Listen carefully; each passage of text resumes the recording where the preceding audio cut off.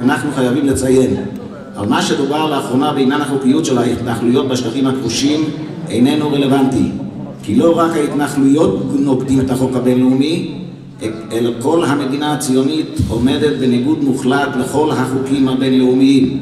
מכיוון שכך הדבר היחידי שיכול לעצור את הכיבוש בינתיים הוא אך ורק על ידי הרחבת החרם הכלכלי בעולם הגלובלי נגד מוצרי מדינת הציונים. דרישה צודקת זו נובע מכוח הציבור של אללה הכתוב בתורה צדק צדק תרדוף.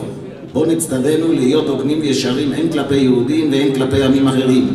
ואין לציונים מנהיגיהם שום שייכות לעם היהודי. ואיננו יהודים כלל. מי אתם חושבים שאתם? שמאלנים מסריחים, שקרנים! אתם עשיתם את הטבח, אתם! רבותיי, שמענו אתכם לתת כבוד לאנשים. סליחה, סליחה, אנחנו המארחים כאן ואנחנו מחליטים מי ידבר, ברשותכם. בואו נתנהג כמו בני אדם.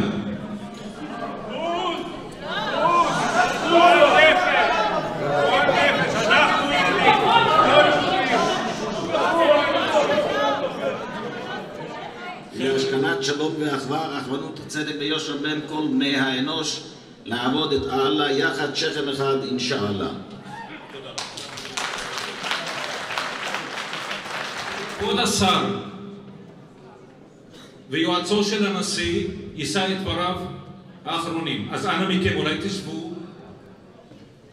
תודה.